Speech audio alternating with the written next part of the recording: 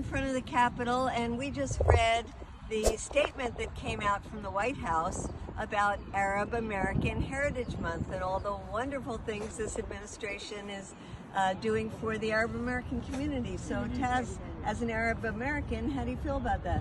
The Biden administration is scrambling to find some way to appeal to Arab American voters and Muslim voters after they've been sort of tirelessly funding and aiding the genocide that's happening in Gaza right now. They very recently just sent more weapons um, to Israel without any congressional approval, and it's clear that Biden is feeling the pressure also from the uncommitted campaigns and lots of anger in the Arab American community that's been uh, targeted towards him. Uh, lots of like imams and Muslim leaders refusing to meet with him. And so it's really just a, a pathetic attempt at celebrating Arab Americans in the country. He even makes mention in the statement of feeling devastated for the for the people and the that have died and the loss that's happening in Gaza.